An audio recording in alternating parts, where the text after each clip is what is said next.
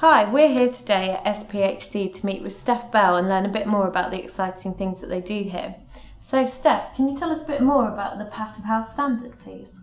Hi Sophie, and welcome to the Scottish Passive House Centre.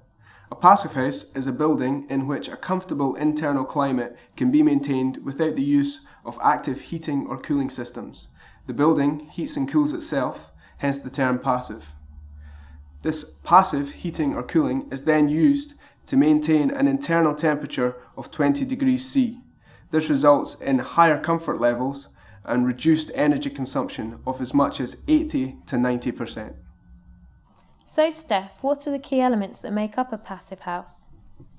The key elements of a passive house are optimizing the building's orientation and shape, an enhanced building envelope including super insulation, air tightness and thermal bridge free design, Passive House approved windows and doors, Passive House approved mechanical ventilation with heat recovery systems, reducing the building's energy demand, and assessing all of these criteria within the PHPP or the Passive House Planning Package, which is the calculation tool used to assess passive house buildings.